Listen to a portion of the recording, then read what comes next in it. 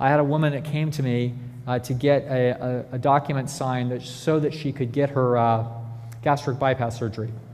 this lady, this lady just walked into my office off her insurance plan. Can you imagine walking into my office looking for that? I don't know which of us was more upset. it's like, you came to me for what? No.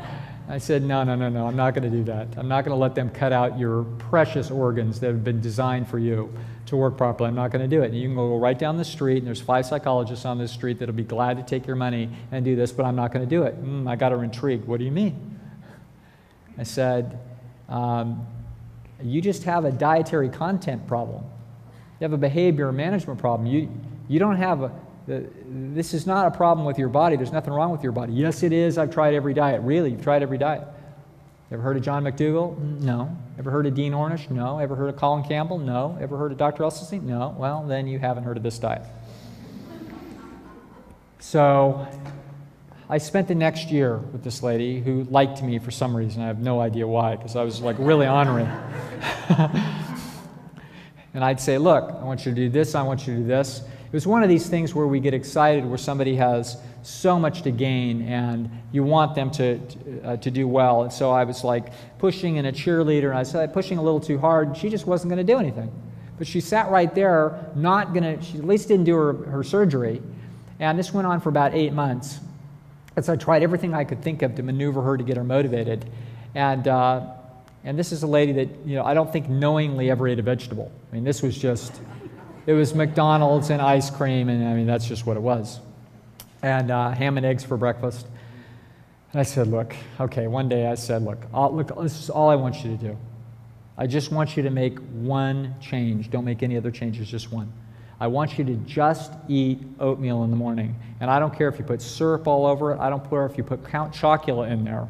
I just want you to eat some oatmeal. She said, Okay. She started eating oatmeal. She went down to 260 pounds. She lost 78 pounds. She didn't do anything else. It didn't matter how hard I tried. It didn't matter how slick I was, or, you know, little jokes or encouragement, or it didn't matter what. There was no way to get her to move. She said, I got to tell you, Dr. Lisle, that I feel good. I feel good. You know, I, uh, when I used to go with my uh, daughter to her, to her things at school, I was like a spectacle. And I was embarrassed, and my daughter was embarrassed. But now I just kind of look like everybody else, and I'm fine with that. I thought, well, fair enough. Okay, we, we did what we needed to do. We swapped one thing, and that's the effect that we got. And I knew that if we swapped something else, we'd get more, but I just had to leave it alone. Okay? Now. So you need to be thinking if you have a weight problem now, what are you going to swap? So you can see it's a very simple system and it seems to tie in with everything we've learned about um, the Minnesota starvation study, which is one of my videos, about how when you've been calorie restricting, you uh, tend to start to eat a lot more food. And the resolution of that is to increase the quality of your food. Uh, we're also now hearing here that if you increase the quality of your food, you um, allow your receptors to accurately measure how much you're eating, so you get satiated earlier.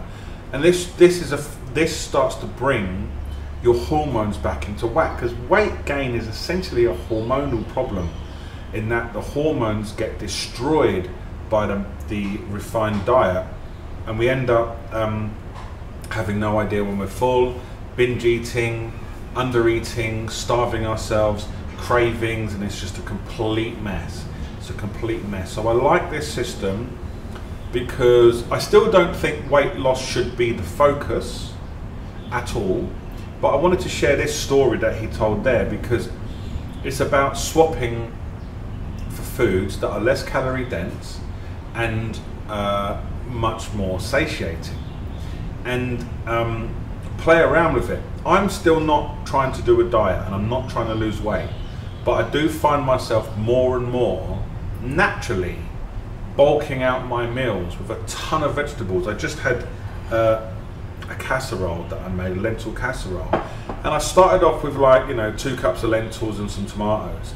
And now what I do, I put two cups, of, uh, three cups of lentils in there with water, and I fill the rest of the pot with vegetables because it tastes better, feels better, more nutrients, fills me up more, less calorifically dense, and I feel completely sati- completely, completely satiated. So I'm steering myself away from calorifically dense foods because they're not useful.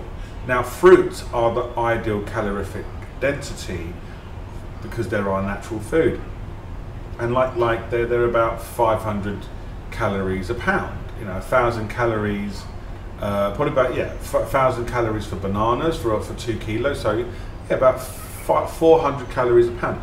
That's where we want to be. That that's the ballpark figure we want to be in. So all you've got to really do is look at your diet, even if you're not vegan. You know, um, that's your call.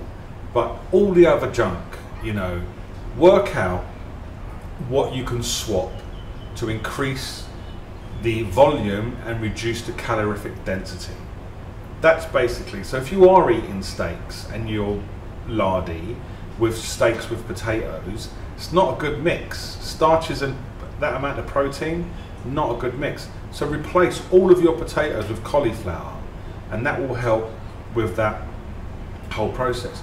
The alternative you can do is you can keep the cauliflower you can keep the cauliflower and get rid of the steak and bring back the potatoes which is what I would do if you have steak and potatoes, you've got a choice. You've either got to get rid of the steak or you've got to get rid of the potatoes.